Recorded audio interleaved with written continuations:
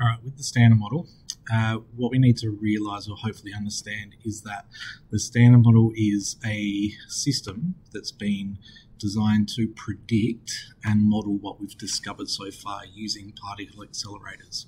So it's not something that's um, you know meant to be sort of super complex, even though it does deal with things called quarks and leptons and mesons and baryons. What it's doing is giving people at CERN, so where the Large Hadron Collider is, an opportunity to look for um, a needle in a haystack, but at least they know roughly where in the haystack they're looking. so to start with, there's two types of fundamental particles. We have quarks and we have leptons. Uh, each of these types of particles has six in it. So there's six quarks listed here, and there's six different leptons listed here. So the electron is its own fundamental particle, but a proton or a neutron is made up of a combination of up and down quarks.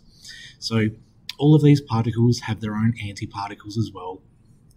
And this is just an observation um, that has been made, uh, and I guess it helps flesh out the standard model a little bit and helps predict what can and can't be created or exist um, so that scientists spend a little more time looking where they should and not where they shouldn't.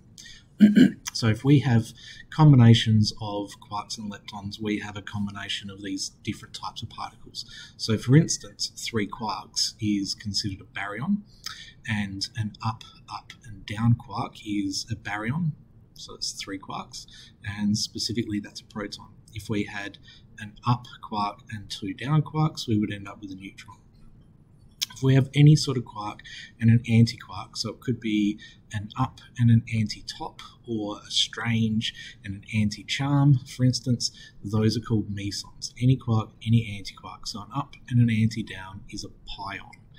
So the up, top, and strange quarks, they have a charge of plus two thirds. The down, bottom, and charm quarks have a charge of minus one third. They're fractionally charged because that helps fit the standard model. Um, the charges of these baryons and mesons can be found by adding the charges of the particles that make them up. So in this case here, an up and an anti down.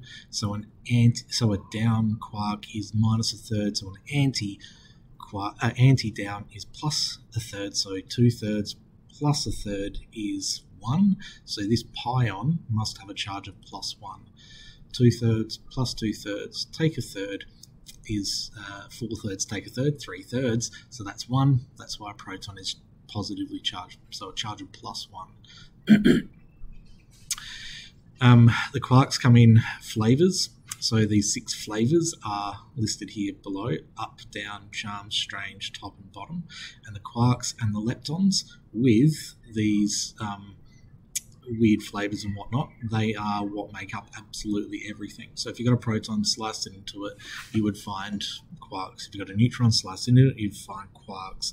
You can't slice in an electron, it's its own um, fundamental particle to start with. So now we need to start following the rules that the standard model puts in place. So all baryons have a baryon number of 1, all leptons have a lepton number of 1, and all the antiparticles of those leptons have a lepton number of minus 1. So, for instance, a muon is a lepton, so it's got a lepton number of plus 1. Its charge, negative 1, but it's got a lepton number of plus 1. An anti-muon would have a charge of plus 1 and a lepton number of minus 1. Uh, a tau neutrino has a lepton number of 1 a charge of zero, an anti-tau neutrino would have a lepton number of minus one and also a charge of zero. so if we go into um, balancing these reactions, we have neutron decaying into a proton plus an electron plus an antineutrino. If we add up the baryon numbers, one, because that's got three quarks in it, three quarks in it, no quarks in it, no quarks in it. So one, so everything on the left-hand side of this line should equal everything on the right-hand side. So that balances so it fits the standard model. If we look at charge, no charge, plus one, take one, uh, and no charge. So we end up with zero charge. Zero, so this is for the lepton numbers. So it's not a lepton, so its lepton number is zero. Simmer, uh, this is the normal electron, lepton number of plus one. This is the anti-electron neutrino, so it's got a lepton number of minus one. So also that balances. Then we go on to things called the gauge bosons. These are the particles that are force mediators. So they're the particles that are um, shared or exchanged between the strong nuclear, weak nuclear, and electromagnetic forces to determine how big and how far those forces can act.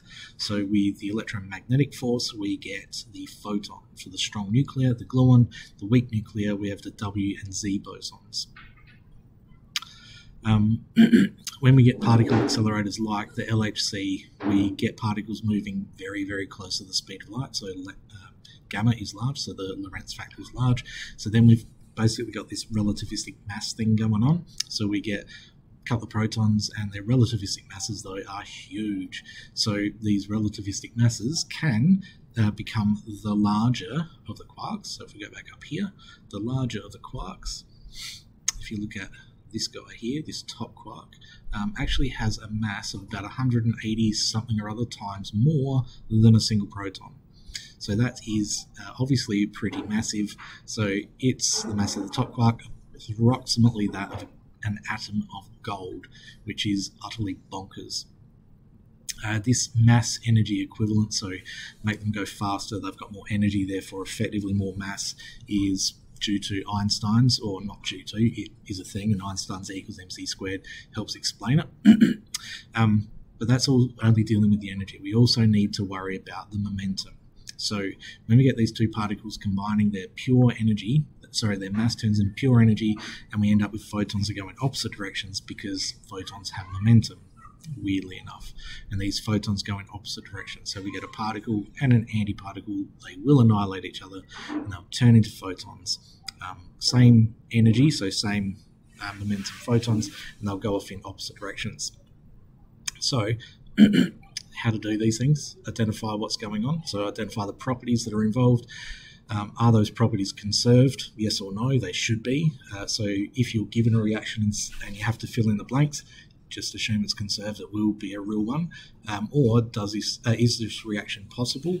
Um, go through the baryon numbers, the charge, the lepton numbers, so the individual electronic lepton, the muonic lepton numbers, and the tau lepton numbers, and find out whether they balance. Uh, you'll be able to fill in the, the missing jigsaw puzzle pieces based on the information that you've got in front of you.